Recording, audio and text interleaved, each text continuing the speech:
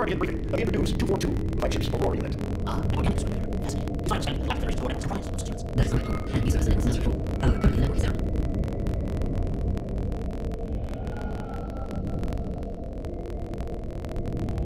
That seems efficient. Unnecessary. You see, some of these companies have been all worried about unknown virus. We were forced to turn the network down. Fortunately, our scientists were quickly able to devise a vaccine. Unit 242 was the first agent to receive the vaccine. We were able to completely purge the virus. Where did this virus come from? We believe the virus is of space pirate origin. Four months ago, the GFS Valhalla went missing on a training mission in the Clar Nebula. The ship's logs revealed that they were attacked by a space pirate raiding vessel.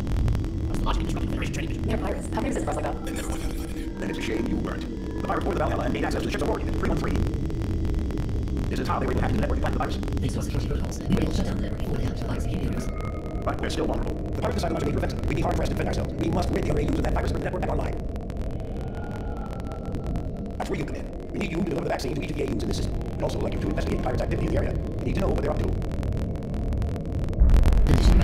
On operating stations. Repeat. Condition red. Surface space pirate detected in this warp access wormhole. They're also in zero and home base. Bam! They're targeting the planetary defense system. Get down to the planet and aid the ground troops. Stop those pirates from disabling the defense system. Go!